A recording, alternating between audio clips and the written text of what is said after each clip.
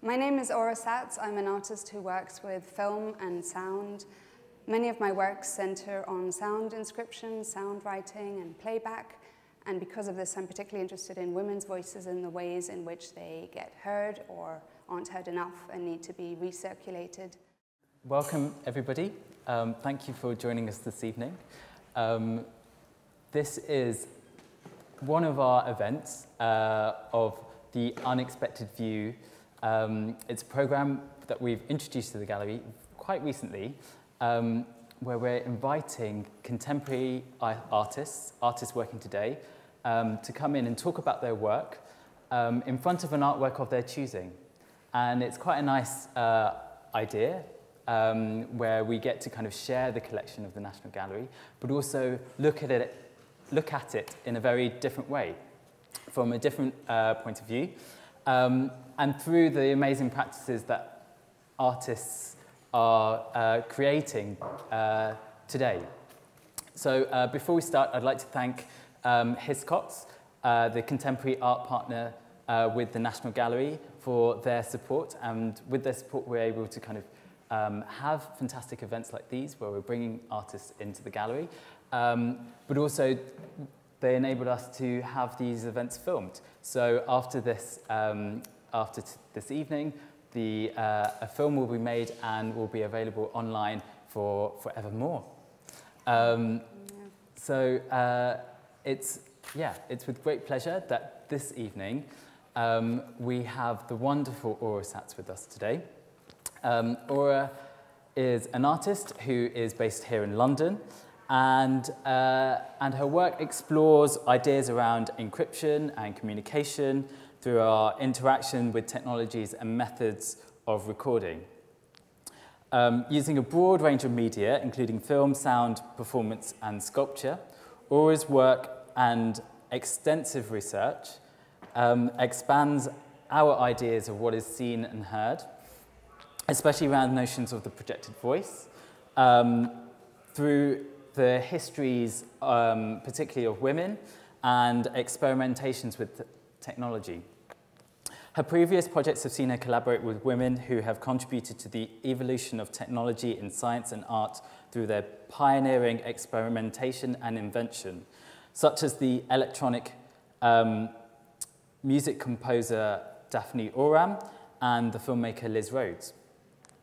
Um, Aura completed a PhD at the Slade uh, School of Art and is currently a tutor of moving image at the Royal College of Art here in London. Um, she was shortlisted for both the Samsung Art Plus Award and the Jarman Award for Film in 2012. And in 2015, she was awarded the Leverhulme Artist Residency in collaboration with the University of Southampton, which culminated in this fantastic exhibition at um, the John Hansard Gallery in 2016. Um, Aura has shown her work extensively um, across the country and internationally. I'm just going to name a few, including Tate Modern, um, the Hayward Gallery, John Hansard Gallery, Home, which is a fantastic space in Manchester. Um, and if you were lucky enough to be in Sydney in 2016, Aura's work was included in the Sydney Biennial that year, entitled The Future is Already Here, It's Just Not Evenly Distributed.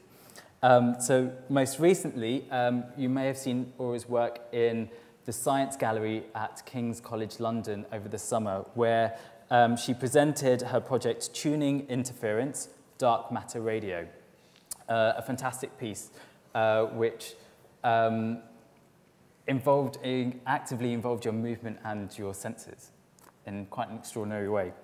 Um, the work is actually touring to Dublin next year, um, so in the spring, if you're in Dublin, please do visit the Science Gallery to see the work. Um, so please join me in welcoming Aura this evening.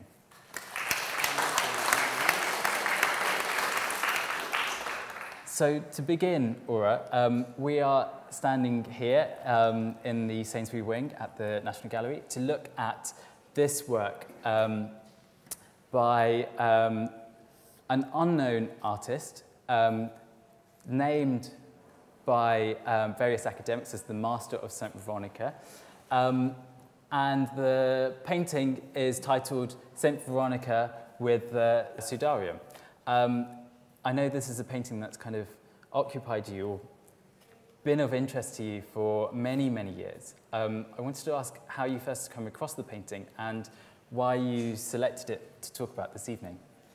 So I was quite daunted when I was asked to do this talk because as a very young, almost teenager, I guess, 18-year-old visiting London for the first time, I came to the National Gallery, saw all these masterpieces and artworks, and I'd been thinking a lot around um, icons and contact relics, which maybe I can explain what that means in a moment. And this image really stood out to me. It's quite humble, it's anonymous, and I thought, what can I talk about in this context that would kind of allow me and, and prompt me to talk about other things that I'm really interested, um, which in part also center around women and women's kind of alternative forms of writing. Um, I have actually written uh, when I did my PhD and thought a lot about this idea of the Veronica. And the Veronica is a portmanteau of the word um, vera icon, so true image, a true image of Christ. And legend has it that um, Saint Veronica offered Christ uh, a cloth, a sudarium, as he was um, uh, walking during the Passion. And when he wiped his face with it, it left an imprint. So his blood and his sweat mm. left a, a stain of sorts. And although this is you know, somewhat unverified, we do have the Turin Shroud. I'm sure, I wonder if people are familiar with this image, which is a, a sudarium, which has this kind of um, forensic quality. It's, a, mm. it's an abstract stain that is said to convey the image of Christ, the true image. So um, in some ways, it's a kind of genuine image, a genuine replica, almost a photographic imprint of sorts. And I suppose thinking back to some of my interest in indexical images, so an image that is a sign of something else, just like um, smoke is an index of fire, or a fingerprint is an index or has a kind of causal relationship to the hand that made the fingerprint. This image, in theory, is a, is a true image or a true trace of um, Christ, and we don't have any likenesses. So it's kind of interesting. On the one hand, in this painting, it is uh, figurative, but if we compare it to the Turin Shroud, it's a kind of abstract stain that allows us to graft some kind of narrative reading onto mm. it. It's, we were talking earlier, uh, it's, I find this work really interesting because of that level of um, reproducing and illustrating an, an idea from a myth. So on one level, it's this image that's been produced as a relic, but also it's been um, reinterpreted again from a myth. So what you have as this image of Christ in the, in the painting is actually quite a glorious image of Christ. You know, his face, his image is kind of staring out at you. And it's not just a sort of abstract stain. Um, so it has this sort of level of translation again. What I find really interesting is that it kind of correlates with the way that we can approach your practice in a way. To think about how um, in your films um, and collaborations with various artists, you um, are looking at the traces of sound uh, and particularly electronic sound that has been processed through different mediums, um, translated into an image perhaps or a physical being, but also then translated back into sound and what mm. we might infer from that kind of form of translation and that mm. form of communication. Yeah, I mean, when I was talking earlier about the Akira poieton, which um, is the Greek word for an image not made by human hands. So this kind of image that, that magically comes into being through contact. So when I say a contact relic, I'm referring to this idea of proximity through touch. And there were other kinds of contact relics, such as, um, you know, the mantle of the Virgin. Or, um, but this idea of an image not made by human hands is one that I come back to again and again. Um, and I actually, I wanted to maybe show a little excerpt yeah, of a project that speaks to this, and I have several excerpts that speak to your question around mm. sound and sound writing. But maybe just as a kind of taster, you know, I think on the one hand, this idea of um, touch without touch, or a kind of relic that comes into being without actually being the original. It's a trace. But on the other hand, it's also, um, just going back to this idea of abstraction, a kind of Rorschach blot almost. So if you think of it as this stain that is then interpreted as something else um, from, from the acheiropoieton, you can start to kind of suggest an idea of an alternative form of writing mm. or language or speaking. Um, so I wanted to show this piece which I did um, actually when I was pregnant and then re-performed it on multiple occasions. It's called Ventriloqua. And maybe while I um, show it, I'll just talk over it a little bit, although it does have sound.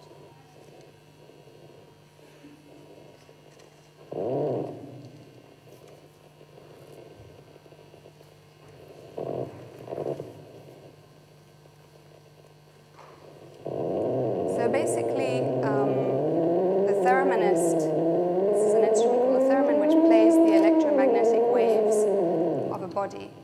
And what interested me here in this idea of ventriloqua is a kind of alternative form of speech, so belly speaking, alternative uh, mouths, alternative languages, but also this idea of an image that you see through. So what you're looking at on the one hand is apparent. You know, it's a belly and a hand activating the belly almost like a medium.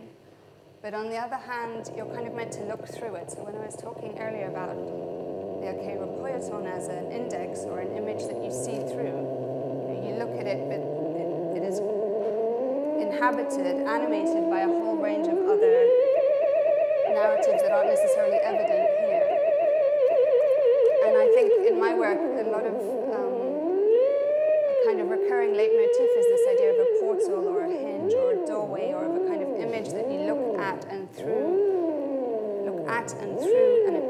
elsewhere, and maybe there's a kind of closer looking or a closer listening that enables you to kind of project into a different space and hear alternative voices, alternative histories.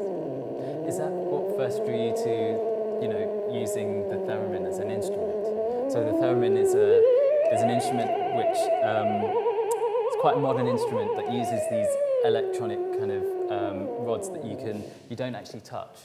So as soon as you move closer to it, it produces a different sound, and you can use your another hand to kind of elevate the sound or kind of change the pitch.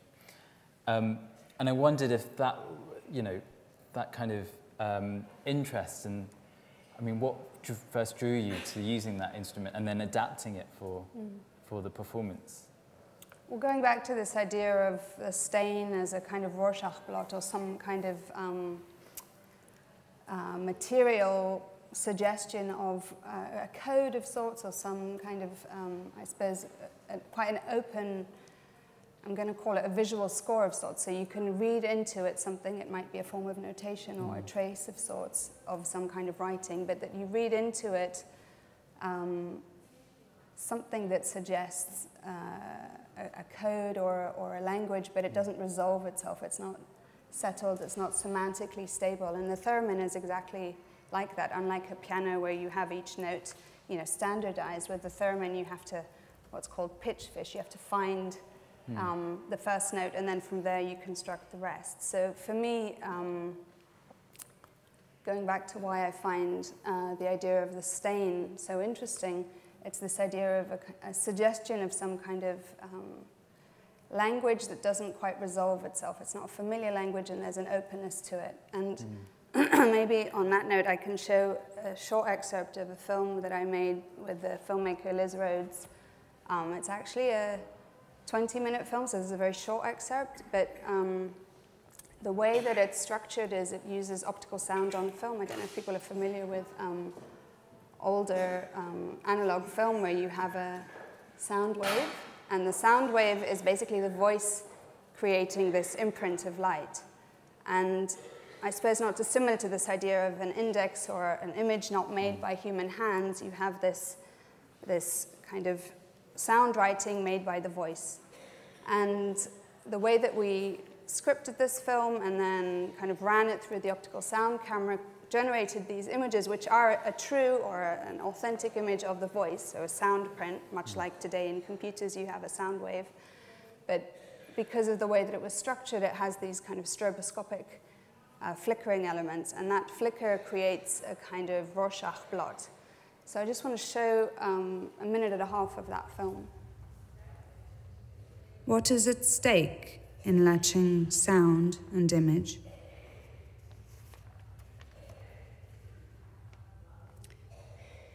The trace left behind shakes and trembles. It knows its own instability. Hinges swing. Light slivers. Tremulous, but not in fear. Losing the stability of a line. A mark of boundaries. Like a fire in a forest. Once alight, it flickers in everything.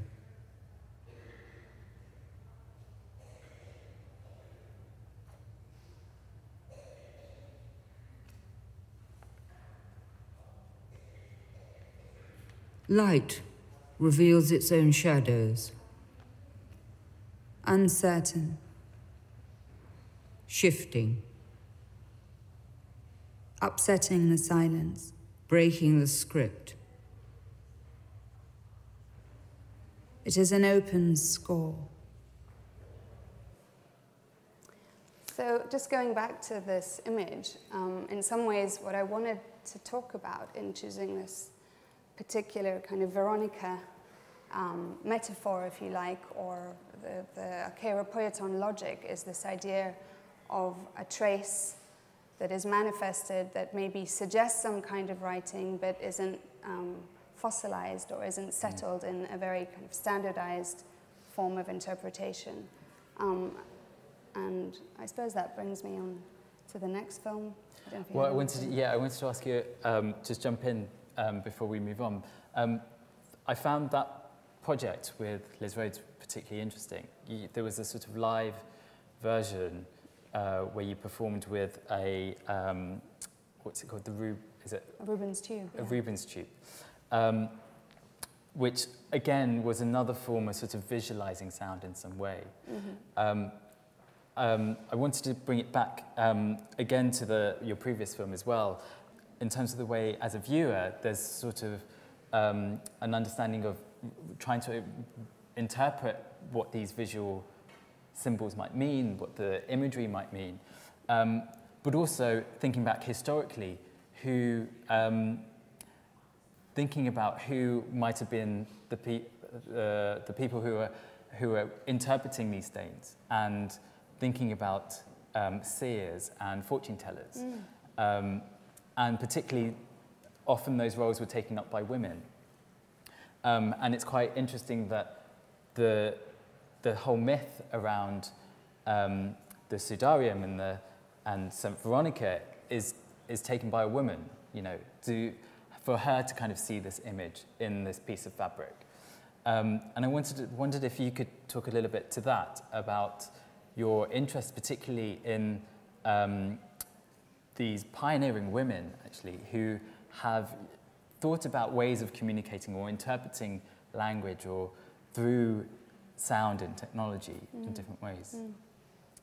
Yeah, I mean, as I said earlier, my work, or maybe you said it, that you mm. know, my work has centered a lot around the history of sound technologies. And in this idea of sound writing, you know, certain voices get written and others are obscured or overwritten or not given space. And so this idea of like who gets heard and where the voices circulate and, and how we can kind of think about rewiring this and reinscribing the canon, this is really important to me. So, you know, we were just talking earlier about, you know, of all the works that one could have chosen here, it's precisely one that's kind of anonymous. And, you know, St. Veronica, although she is, you know, identified as such, there's also a kind of um, there's a humility to you know her, her gesture even, which is a presentation of another image that is almost like a kind of mirror, you know, angled elsewhere. So it's not to look at her, it's to kind of look at it as a reflection of someone else. And I suppose um, in my interest in sound writing, um, you know, the particular voices that get obscured or written out of that history have been historically women and, of course, uh, non-white or kind of ethnic minorities. And so there's a sense in which we need to redress this canon and think about how we can bring those voices into different kinds of circulation. So I'm really committed to that um, and invested in it um, on many fronts, but also um, going back to this idea of alternative forms of sound writing, the reason certain women in electronic music specifically are interesting to me is because um, within the forms that they invented of a kind of new, you know, if, if we assume that there's a given alphabet, there's a given form of music notation, you know, the stave and so forth, if you kind of shift that and think about instantiating a new kind of language or a new unheard of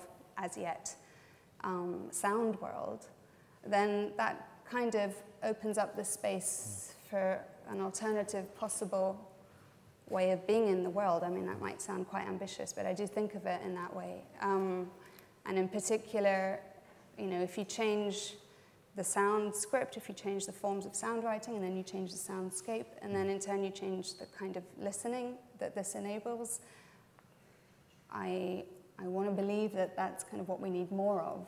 Um, and maybe now's a good time to show a short excerpt of my actually, film. Yeah, before sorry. we move on, I just wanted to talk to you a bit more about Lis Rhodes mm. and actually your relationship with Lis mm -hmm. Rhodes.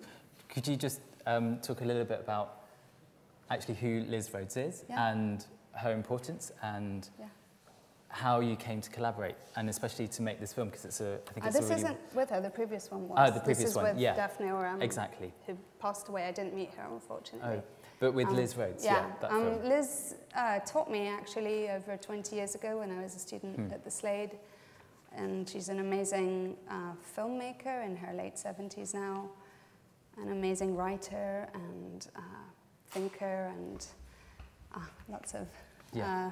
Uh, accolades, but she's very special to me, and we meet regularly and have conversations, and sometimes they've manifested as films, and other times, right now, we're writing a text together. Um, in many ways, my work is always about the space between voices and a kind of notion of a shared voice, and so I'm really, I, I like to think of my works as dialogues, both um, in terms of the subject matter, but also in terms of the method. Mm. And so the conversations with Lis are always feeding into this, as well as conversations with other people. Um, but maybe I'll show this film yeah, now. And then, and then we, can, we can talk yeah. about that relationship of being yeah. able to uh, have a conversation with an artist. Yeah, Again, but in a different way. So Daphne Oram was an electronic music pioneer. She's British, working in the late 60s, and she invented this machine called the Oramics machine, um, which used optical sound, so the thing I showed earlier, similar principle, but on uh, clear film. And essentially, she, she, came up with a new form of sound writing, and um, it's a kind of sonic alphabet of sorts.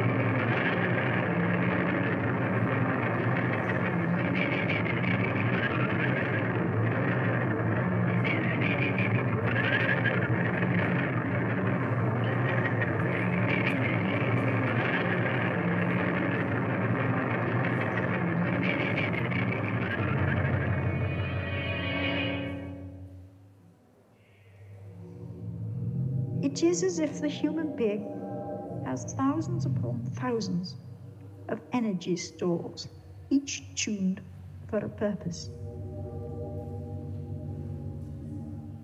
Each charged with a potential which allows it to sound forth So I might just leave it, It playing in the background while Yeah. we keep talking. Um, because I think the visuals of this so uh, this film are so interesting in the way that we think about how sound has been constructed through a physical film. You know, Daphne Oram was an amazing, amazing composer, um, experimenting with different technologies and pushing the sort of limits of what could be possible for electronic music. Um, it was Daphne Oram who created the, uh, was it Doctor Who? The, Um, she was part of the BBC Radiophonic Yeah. Workshop, and Delia Derbyshire was there composing elements of Doctor.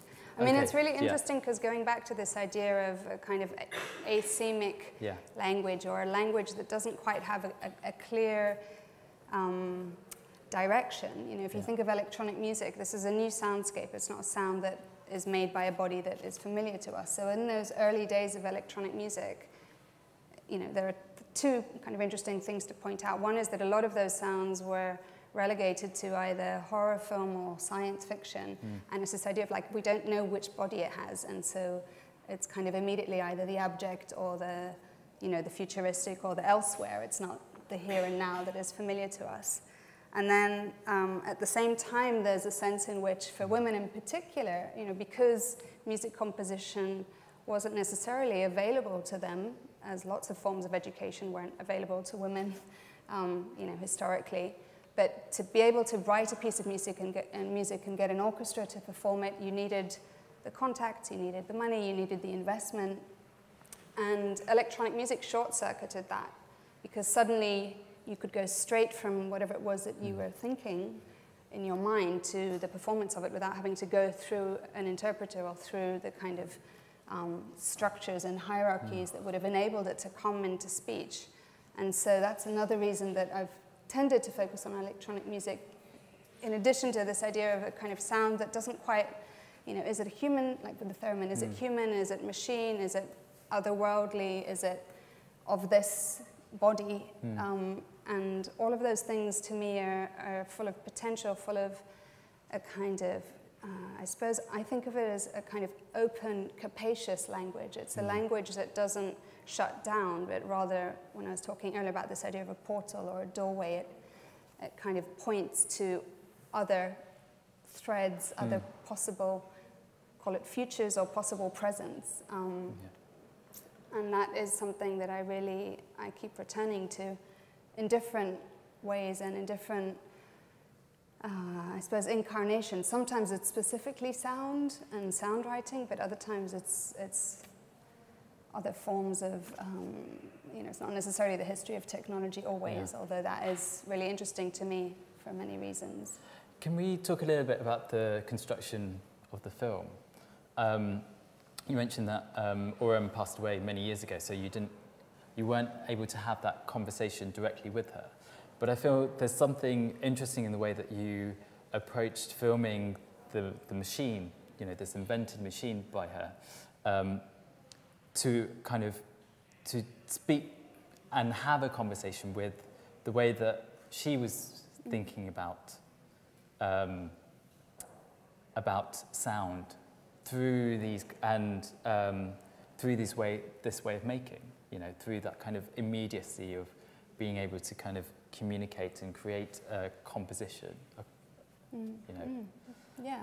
I mean, I, as I said earlier, like even when I'm not in conversation directly, the works are conversations in part with, um, with maybe historical figures in the past and kind of animating them into the present or bringing those voices back into circulation. So for me, having made the film about Daphne Oram, you know, I spent a lot of time with the archives. I read through her texts and manuscripts and her book. And um, yeah, I, I do think of it as a conversation. Um, whether it was a kind of direct conversation or not. Um, I suppose it's because I think of my, you know, going back to the first image, the first film around ventriloquy, this idea of being an antenna or a medium or a kind of portal for another voice to appear. That's how I thought of myself in relation to making some of these films around historical figures that maybe have been overlooked. I mean, I made that film in 2011, and since then, Daphne Oram Mm. has become much more well known, and um, that machine was only discovered um, just before I, I made that film. It had been lost in some shed in France, and Okay. so um, that idea of bringing her voice back Yeah. into circulation and creating a space, carving out a space for her machine, for her Oramics machine and form of notation to be visible and for her music and her voice to be audible um, was, was part of my practice as an artist. I mean, obviously, my voice is in it too, but I do think of myself as the space for other, you know, we're all always inhabited by other voices. Yeah. We're always sharing voices and speaking and being spoken through, and that's something that I really hold dear. Yeah. I think it's a good thing. You know, it's not, it's not a negative thing to be inhabited by other Yeah. voices. It's something we should be more um, open to and embrace. Yeah. Which makes total sense in terms of your selection for this evening. Um, please join me in thanking Aura this evening and for sharing so much about your practice. Thank you. Thank you.